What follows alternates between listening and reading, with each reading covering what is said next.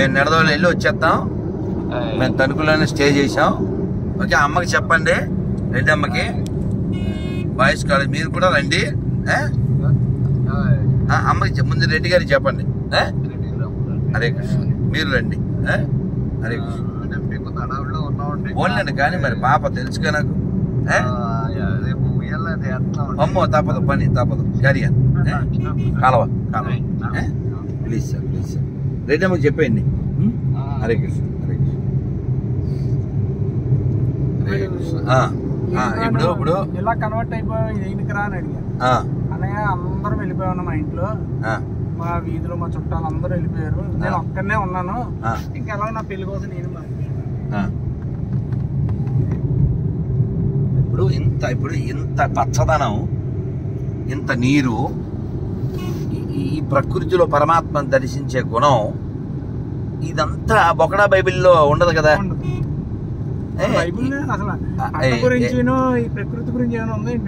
అక్కడంతా ఉన్నది వికృతే తప్ప. ప్రకృతి సుకృతి ఉండదు కదా? సరే ఇప్పుడు విషయం ఏంటంటే ఆ బొకడా బైబిల్లో అన్నం గురించే లేదు. ఓకే? ఇంకా ప్రకృతి దాని వర్ణన స- సంగీతం సాహిత్యం కరుణ దయ ఇలాంటివి ఏమి ఉండవు కదా? ఎండిపోయిన శవాన్ని ప్రమోట్ చేయడం. సో ఎండిపో ఇప్పుడు నేనేమంటా అంటే భగవంతుడు అనేవాడు చాలా గొప్పవాడు. అతను ఎక్కడున్నా పచ్చగా ఉండాలి. ఏ రాముడు పుట్టిన అయోధ్యలో సరయు నది అప్పుడు ఉంది ఇప్పుడు ఉంది. కృష్ణుడు పుట్టిన మధురలో యమునా నది అప్పుడు ఉంది ఇప్పుడు ఉంది.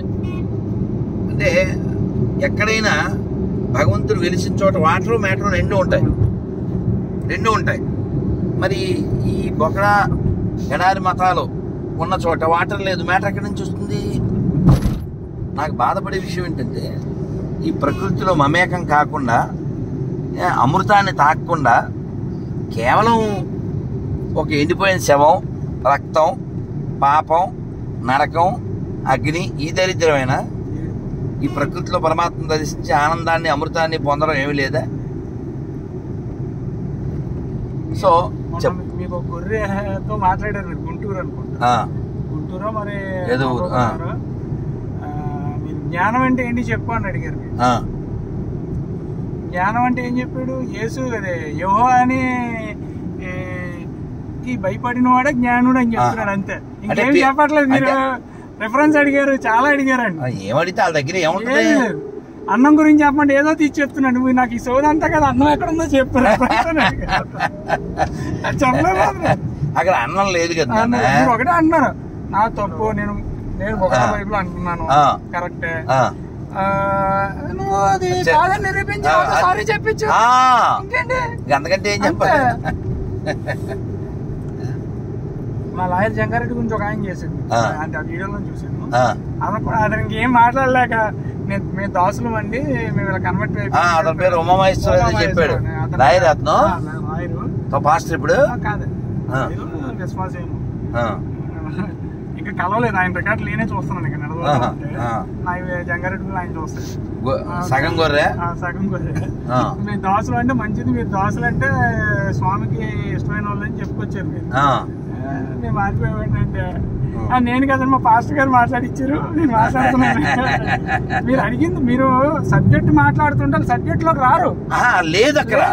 సబ్జెక్ట్ లేదు. ఉండరా ఎవడైనా నేను ఇదిగో పక్క ఈ కొబ్బరి చెట్లు సాక్షిగా ఈ వరి పొలాల సాక్షిగా నేను చెప్తున్నా.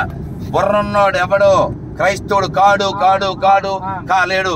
బస్తీ మే సవాల్. సవాల్ బ్యాచ్ కే? మీరు నిన్న చూసిన వీడియో అదే శ్రీకాకుళం ఉంది అతనే ఈ క్వశ్చన్లు. అన్నం అడిగా చెప్పాయా అంటే ఏదేదో చెప్తున్నాడు. ఆ, మీరు జ్ఞానం ఒకటి అడిగారు ఇంకోటి అడిగారు. ఇంకో దానికి కూడా ఏం చేయదు. లోకాన్ని బట్టి చెప్పమంటారా బైబిల్ బట్టి చెప్పమంటారా? నువ్వు ఏం చెప్తావు చెప్పంటారు ఫస్ట్ అసలు సబ్జెక్ట్ చెప్పడం ఏదేదో చెప్తాడు. ఇలా అనుకోమంటారు అలా అనుకోమంటారు.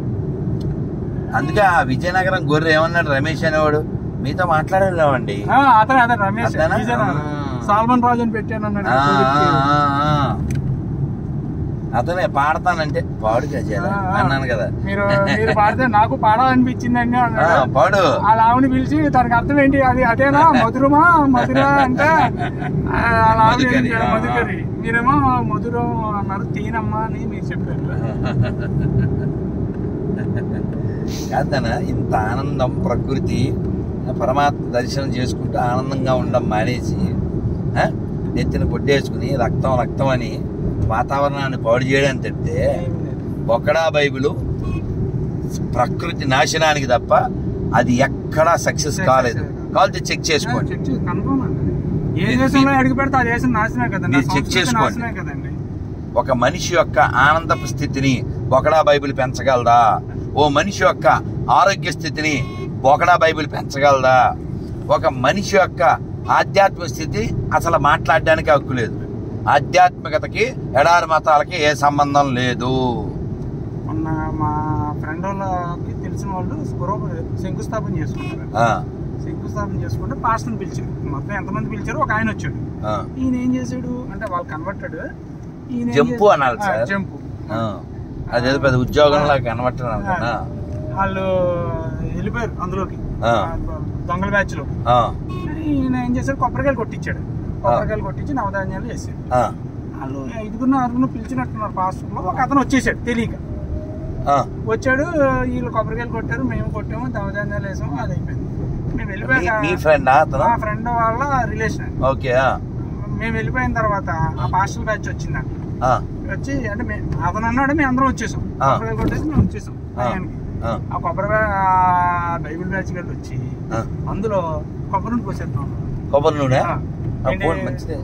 ఏంటి శంకుస్థాపనలో కొబ్బరి నూనె ఎలా పోతారని గురువు గారు. కాదు నాన్న ఆ? ఉచ్చపోతేనే అడిగేవాడు లేడు. నువ్వు జస్ట్ ఆఫ్టర్ ఆల్ కొబ్బరి నూనె ఫీల్ అయిపోతావు వాళ్ళు అదేంటి మేము ఏదో చేస్తే ఇలా అంటే కుదరదు మా వాడు కుదరదు అలాగొద్దు. ఏదైనా కానీ తర్వాత ప్రేర్ చేయించుకో తప్ప. కొబ్బరి నీళ్ళు కొబ్బరి నీళ్ళు ఇందులో ఏం పోయించుకో. అని చెప్పి పంపించేసాడు అయిపోయింది అక్కడ. ఎవడైతే పాస్ట్ ఒక్కడే వచ్చాడని చెప్పాను కదా అతన్ని సాయంకాలం నా దగ్గరికి వచ్చాడు. పొద్దున్న నన్ను భలే బుక్ చేస్తారే మీరు అన్నాడు. నాకు తెలియదు ఏంటి బుక్ చేయడం ఏంటి? అది అర్థం కాలే ఇప్పుడు. నూనె పోసి వెళ్ళిపోయారా? పోయలేదండి. ఆ? పోయిపోతుంటే మా ఫ్రెండ్ ఆపాడు. ఓకే. నూనె గీనె పోయకండి. ఏదో చేసుకున్న కాళ్ళతో మీరు ఇది పూజ మా పూజ రాయిలు మీరు పోయకండి ఆయిల్ చేయకండి స్పాయిల్. స్పాయిల్ అని చెప్పాడు. స్పాయిల్ అని చెప్పేసి ఏపించి మళ్ళీ కప్పి కప్పేస్తాం కదండి. అవును. కప్పేసాం అయిపోయింది ఏదో చేసుకున్నారు. అక్కడికి అయిపోయింది అందరూ ఎవరికాళ్ళు వెళ్ళిపోయాం. వెళ్ళిపోయిన తర్వాత సాయంకాలం ఇందులో ఒక పాస్టర్ వచ్చాడు కదా. ఈ పాస్టర్ సాయంకాలం భలే బుక్ చేస్తారు ఆయన మా వాళ్ళ దగ్గర అదేంటి అంటే నన్ను అందరిని పిలుస్తున్నాం అని చెప్పారు. నేను వచ్చాను తీరా చూస్తే అక్కడ కొబ్బరికాయను ఇది చేశారు. మా వాళ్ళందరూ- కొబ్బరి నూనె వస్తాం కానీ కొబ్బరికాయలు కొడతాం వాళ్ళు అన్నారంటే మిగతా ఐదుగురు ఆరు పిలిచారు కానీ రాలేదు కదండి. అలా చేస్తున్నారని మేము రాలేదు నువ్వు వెళ్ళావు. నువ్వు వెళ్ళి అక్కడ ప్రార్థన చేసావు. నిన్ను నీకు నువ్వు దాని గురించి చెప్పాలి రేపు పొద్దున్న. ఆదివారం నువ్వు చర్చిలో దాని గురించి చెప్పాలి నువ్వు. నువ్వు నవధాన్యాలు కొబ్బరికాయ చర్చలో కొట్టు ఏం చెప్పాలి? అంటే నువ్వు ఎందుకు వెళ్ళావని చెప్పాలంట. కాదు కాదు. ఈడు ఎవడికి పుట్టాడు? నేను ఎక్కడ వాళ్ళకి పుట్టాను అని చెప్పాలి. ఒకడా బైబిల్కి నా దేశానికి నా పూర్వీకులకి ఏ సంబంధం లేదు. అని చెప్పాలి. తెలుసు.